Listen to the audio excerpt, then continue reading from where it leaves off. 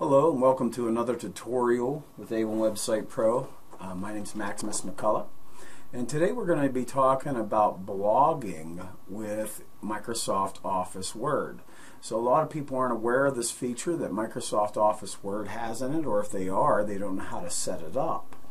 Um, so I'm going to walk you through on this tutorial how to set up and how you can uh, make blog posts through your WordPress using Microsoft Office Word. Okay, so that's what we're going to do, and that's what we're going to talk about. And the nice thing about this is, is you can take advantage of all the features that uh, Microsoft Office Word has, and and you know, dragging and dropping pictures and so on and so forth, even if it's on your own server. So that's what this is going to be geared to: uh, a WordPress content management system that's on your own server. So we all know that whenever we start up Microsoft uh, Office Word, it looks like this.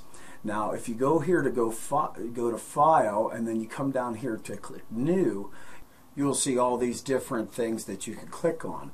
But when we want to blog through Microsoft Office Word, we want to hit select this blog post option, and then hit Create, just like that.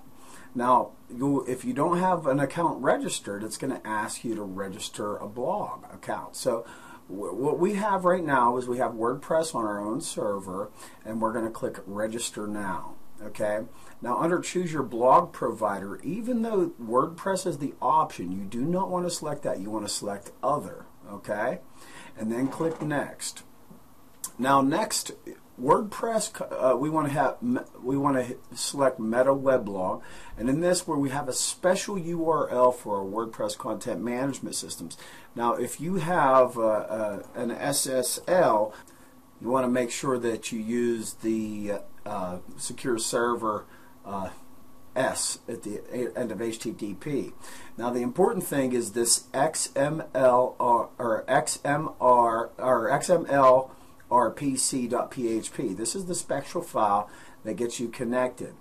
Okay, and then what you want to do is you want to enter your username and your regular password that you use on your uh, um, for your blog and click remember password. Now under picture options what you want to do is you want to select my blog provider. Okay, you're going to have different options like my own server, not done. You want to hit select my blog provider, and it'll upload those pictures, whatever pictures that you put in here, to your media library. And then all you have to do is click OK, and that'll let you know if the account registration was successful. Okay. Now, if you have other accounts, you can add other accounts the same way.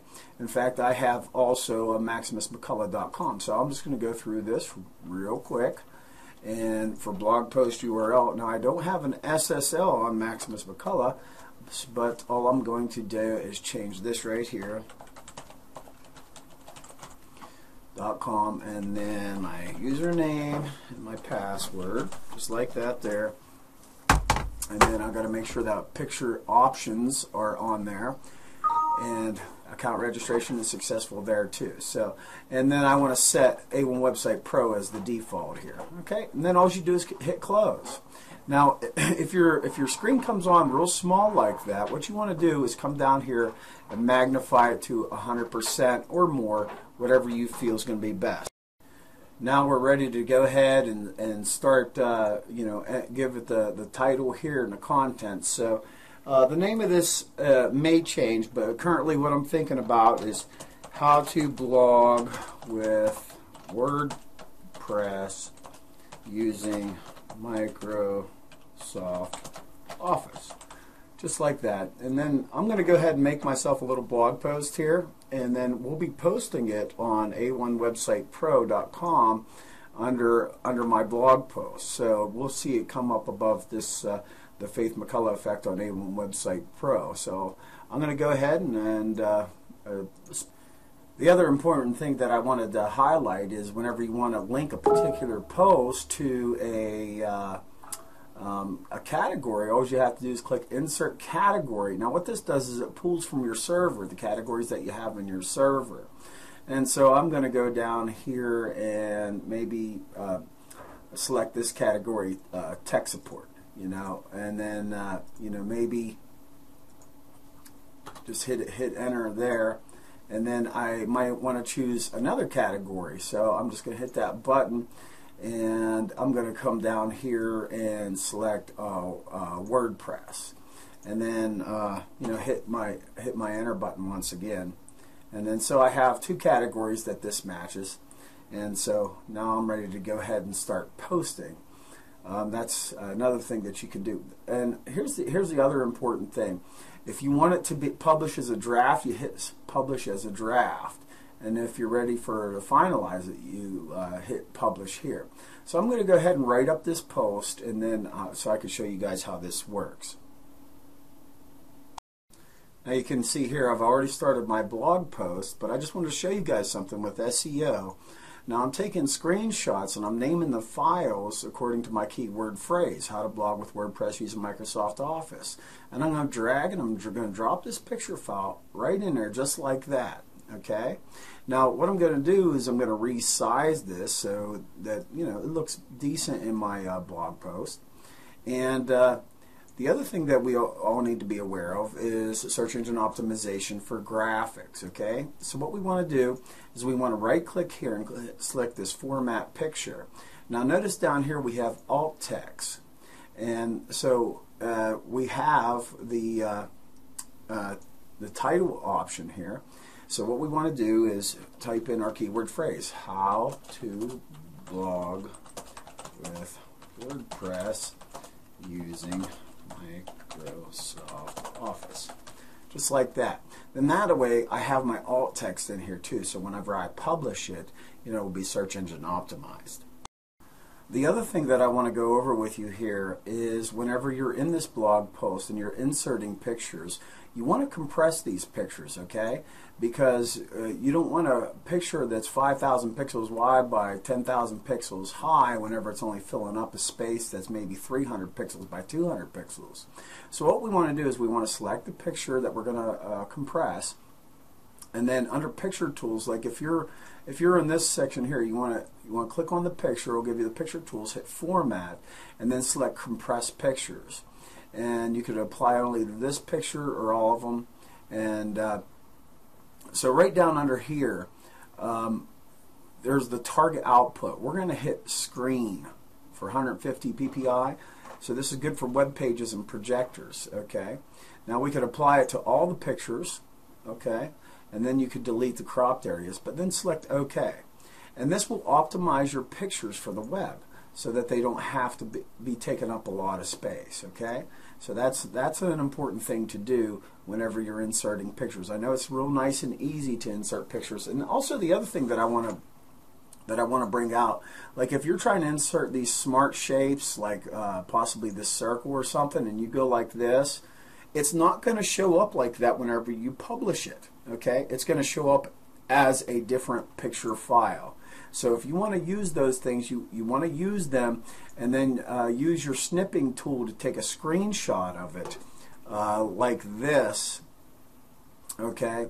And then you would highlight that picture copy it and then save it and then reinsert it that would be the only way to handle something like that because these pictures here will upload as different files. So I want you guys to be to, to be aware of that as well.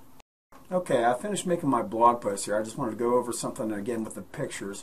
If we go here to Format Picture and we go to Alt Text, we see that it's using the file name. Uh, we have the title here, but we can also use that title in the description as well without using that file name, okay? Now I'm getting ready to publish it. Uh, there's just a few things that I wanted to go over with you here so that you're aware of them. And I wrote them down at the bottom of this post. So, uh, you know, you can insert a category. I showed you how to do that.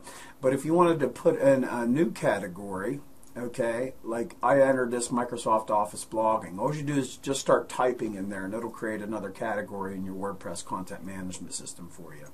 Okay, so here's some final thoughts.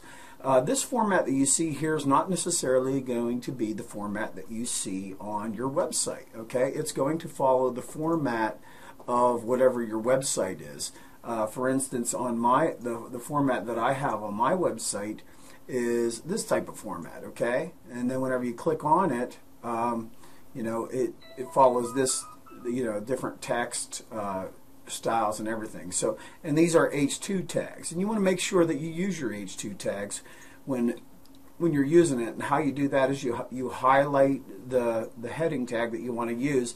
Then you'll see up here it has heading two. If it was heading three, you would use heading three or whatnot. And then you go back to your regular paragraph tags.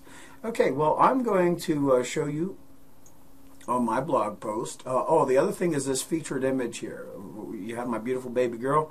Well, that featured image is not going to be in there, so I'll have to go back and put a featured image. So we're going to go to my blog right now, and these featured images are, are on the left. Now you're not going to, and we're going to go ahead and publish this thing so I can show you how it works. And so here I'm going to go up. Now I could publish it as a draft and then go in and edit, but for this demonstration, I'm just going to select publish so you can see what happens here. And so it's contacting the blog provider. It's going to upload all of the pictures and all of the text, and it'll probably go through this a couple times. So just be patient and let it upload everything. Uploading them pictures and all the information that we included in this blog post. So, might take a minute or two, depending on how big it is. And you can see I have a lot of pictures in this blog post to illustrate the different steps that comes with creating a, a WordPress blog post using this Microsoft Office Word program. Now you can see it says this post was published at a1websitepro.com at this time and this date. Okay, so let's go back over to uh, my blog uh, post and we're going to refresh this. And you can see my default images there and then I have how to blog with WordPress using Microsoft Office.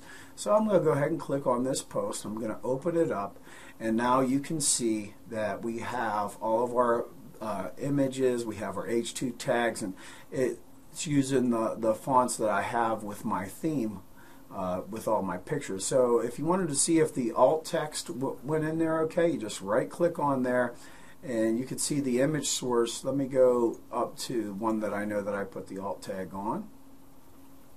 And if you don't see them, you'll have to go in and edit your post and uh, make sure that you get your alternative text in there.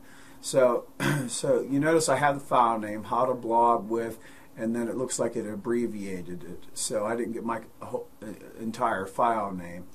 Um, you see here on this, I have uh, the, the image is linked uh, to creating a new account in the Microsoft Office Word program. So that's good for uh, you know whenever people uh, click click on click on things to to enlarge them or whatnot. So that's what we have for uh, uh, Microsoft Office Word to WordPress. It's a nice little handy feature. Like I said, it does have limitations, but it could speed up your workflow. Uh, especially whenever you get into the Microsoft Office Word and all its features it has with the spell check and uh, using synonyms, looking up thesauruses, uh, artwork, and so on and so forth. So I hope you enjoyed this tutorial. This is Maximus McCullough with A1 Website Pro. Thanks.